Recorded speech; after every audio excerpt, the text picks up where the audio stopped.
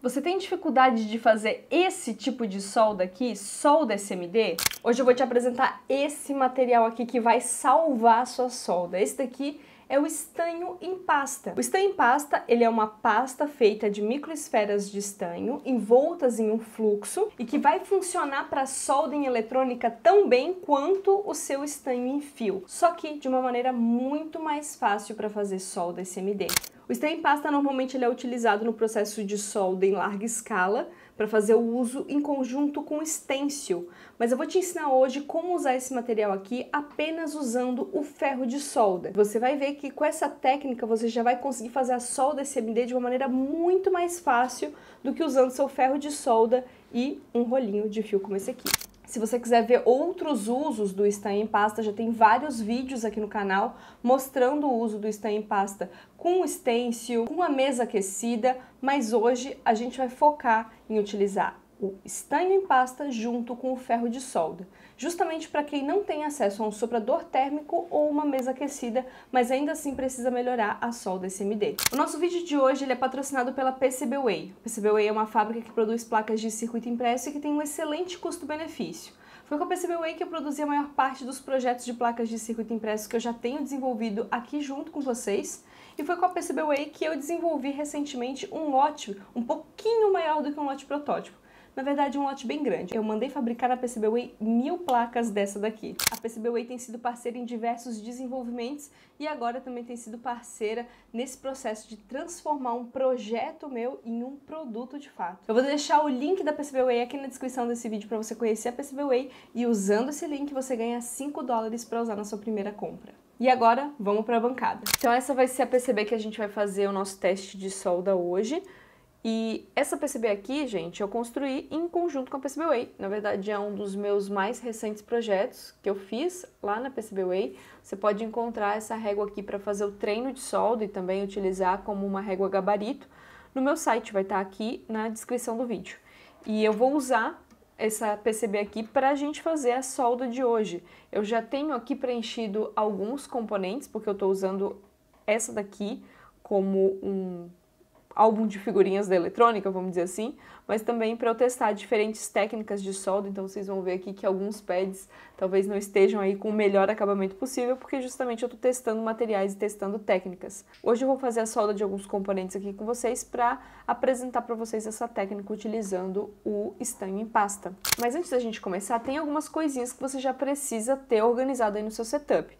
Se você não assistiu nenhum vídeo de solda por aqui no canal ainda, vou te passar rapidinho algumas coisas que você precisa ter.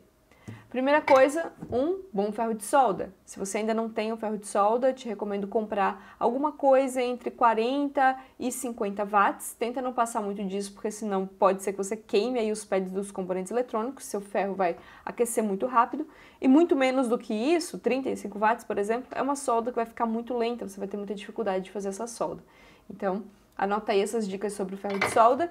Por aqui, eu gosto de limpar a ponta do meu ferro de solda com esse tipo de material aqui, que é uma esponja própria para limpeza de ferro de solda, mas você também pode usar uma dessas esponjinhas aqui úmidas que acabam vindo junto com o ferro de solda normalmente. É importante você fazer a limpeza da sua placa antes de começar a solda, principalmente se a sua placa for como a minha aqui, que ela fica guardada, fica na bancada. Eu uso um cleaner para fazer essa limpeza, ou álcool isopropílico também. Gosto de utilizar essas flanelinhas aqui que não soltam fio para fazer essa limpeza. A gente vai fazer a limpeza assim que a gente for começar os trabalhos. E facilita demais o processo de solda se você tiver uma pinça. Para solda SMD, esse daqui é um dos materiais mais essenciais porque vai te ajudar muito aqui com a precisão tanto de pinçar quanto de posicionar os componentes. Eles são muito pequenos, então uma pinça aqui que tenha ó, uma ponteira bem pequenininha faz toda a diferença, tá? Essa daqui é uma pinça própria para solda, só você procurar aí, ó, existem vários modelinhos diferentes com várias pegadas diferentes, você pode escolher a que você preferir. Eu gosto bastante dessa daqui. E agora a dica essencial aí para solda com o estanho em pasta. Você vai encontrar o seu estanho em pasta tanto nos potinhos pequenininhos quanto dentro das seringas, mas muitas vezes ele não vai vir com uma ponteira, ele vai vir dessa forma aqui, ó.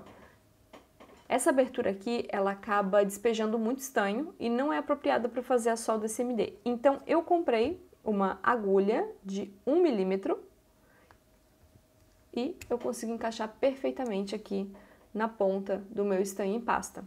Agora sim, com essa agulha aqui eu consigo despejar a solda, mas toma um pouquinho de atenção, tá? Na hora de fazer a compra da sua agulha, compre uma agulha de pelo menos 1 milímetro aqui de abertura. Isso porque o estanho em pasta ele é bem grosso e se essa agulha aqui ela for mais fina, ele não vai passar. E vai por mim, porque eu já testei e não deu certo. Então não adianta comprar aquelas agulhas bem fininhas que não vai funcionar. Procura aí uma de 1 milímetro pelo menos. Dito isso, agora sim estamos com o nosso setup pronto para iniciar os trabalhos. Então, bora lá! Eu vou começar fazendo a solda desse encapsulamento aqui, que é um regulador de tensão, e esse aqui é um encapsulamento que não necessariamente precisaria dessa técnica aqui para fazer a solda, mas como ele é um encapsulamento um pouquinho maior, ele vai ser excelente para eu conseguir demonstrar com facilidade a técnica. E depois a gente replica essa técnica para um outro componente que está aqui do ladinho, que aí sim, esse aqui é bem pequeno e ele necessita que essa técnica aqui aconteça para dar certo soldar ele apenas com o ferro de solda. Então vamos lá, eu vou começar despejando um pouquinho de estanho em pasta em cada um dos pads do componente. Nessa hora, não é necessário colocar muito estanho em pasta não, porque esse material ele rende bastante. Eu só vou passar um pouquinho mais mesmo aqui nesse pad de cima, porque ele tem uma área de contato um pouco maior. Com estanho em pasta passado nos pads, agora eu venho aqui com o componente, eu posiciono ele aqui. Em seguida, para a gente finalizar essa solda, eu venho com meu ferro de solda com a ponteira bem limpa. Com um dos lados da pinça, eu seguro o componente e com o ferro de solda, eu venho aquecendo o pad do componente e finalizando a solda. Opa, que ele sai um pouquinho do lugar. Prontinho. E agora, para o próximo pad. Quando o estanho pega essa cor bem brilhante, significa que ele tá perfeito, tá? E agora aqui no pad de cima. Como esse pad aqui, ele é um pad um pouco maior, eu vou até deixar o meu ferro de solda aqui em contato um tempinho um pouquinho maior. Tenho certeza que aqueceu tudo e todo o estanho que tá aqui por trás desse componente, de fato, entrou em fusão. Ó, você vai ver que esse processo aqui vai gerar, sim, uma sujeirinha, justamente porque toda vez que a gente faz essa solda com ferro de solda, é, acaba que o fluxo que está presente no estanho, ele acaba dando uma queimadinha. E aí fica com esse aspecto feinho. Então, a gente pode vir aqui com um pouquinho de cleaner, dar uma pingadinha aqui, e aí nessa hora você pode escolher vir com uma escovinha ou vir com um paninho. Como eu tô com um paninho aqui já em mãos, eu vou vir com ele hoje. Aproveitando para fazer toda a limpeza da placa. Tá aí, ó. Solda perfeita, componente no lugar. Agora a gente pode repetir esse mesmo processo para um componente eletrônico um pouco menor. Então eu vou fazer a solda desse outro encapsulamento que eu tenho aqui. E esse sim é um encapsulamento bem pequeno, bem difícil de ser feito apenas com o estanho em fio justamente porque é muito fácil de construir um curto-circuito aqui com esse pad. Então, vamos lá. Mesma técnica. Eu venho aqui com um pouquinho de estanho em pasta na seringa e agora dosando para colocar realmente só um pinguinho em cada um dos pads. Não precisa de muita coisa, porque realmente esse material aqui ele rende muito. Então, coloquei uma gotinha bem pequenininha em cada um dos pads desse componente aqui.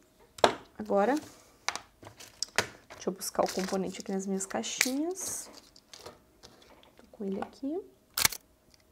E agora eu vou posicionar o componente. Dessa forma aqui, ok. Com bastante cuidado, meu ferro de solda bem limpo eu venho com um dos lados aqui segurando com a pinça e o outro apoiando a ponteira do ferro de solda no pad. E é importante fazer a verificação visual para checar se o estanho está bem brilhante, ele precisa ficar bem brilhante. E aí sim, agora sim. Esse componente aqui, ele é bem difícil de ser soldado com estanho em fio. E aqui, ó, ele tá perfeitamente soldado na placa. Vocês devem estar notando que eu tenho um componente aqui que tá meio maluco aqui, né? Meio torto no pad. Tava fazendo um teste de solda ali que não deu muito certo. Vou até aproveitar aqui que a gente já tá com a mão na massa e vou dar um jeitinho nesse aqui. Vamos lá, vamos tirar esse coitado daqui e vamos refazer a solda dele.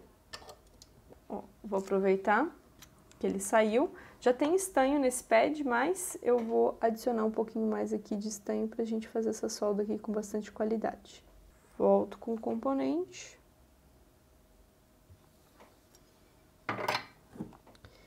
E finalizando a solda agora.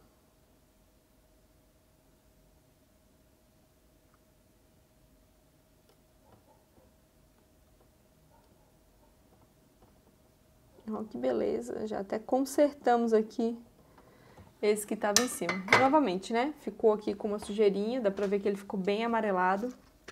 Então, a gente vem aqui com um pouquinho de fluxo pra fazer essa limpeza, deixar bem bonitinho. Esse aqui, como é um componente pequenininho, eu vou usar aqui a escovinha pra pegar bem todas as partezinhas, deixar essa placa bem limpinha.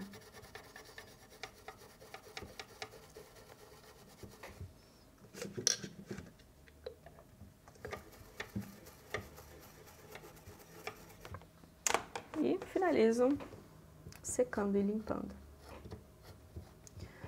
Olha só que beleza, que perfeição. Você pode repetir essa mesma técnica para todos esses encapsulamentos que eu tenho aqui, estão vendo?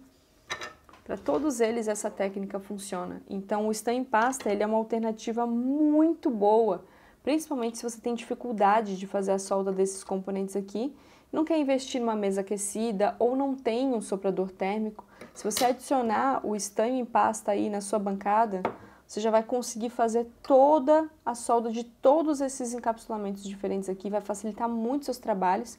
E aí, para os seus próximos projetos, você também começa a colocar componentes eletrônicos SMD, começar a dar esse passo a mais e profissionalizar ainda mais os seus desenvolvimentos. Essa técnica é uma técnica que eu já queria trazer para vocês faz um tempo, porque por aqui eu tenho usado bastante a minha mesa aquecida, o stencil, o estanho em pasta, para fazer um processo de solda um pouquinho mais industrial. Mas muita gente me pergunta aqui nos comentários como melhorar a sua solda SMD. E eu sei que são pessoas que estão começando, desenvolvendo seus primeiros projetos e ainda não tem um equipamento como um soprador térmico, uma mesa aquecida ou um forno para solda. Então testa por aí e me conta se essa técnica com estanho em pasta realmente te ajuda ajudou a melhorar a sua solda SMD. Outras dúvidas você pode deixar aqui nos comentários e eu te vejo no próximo vídeo. Tchau!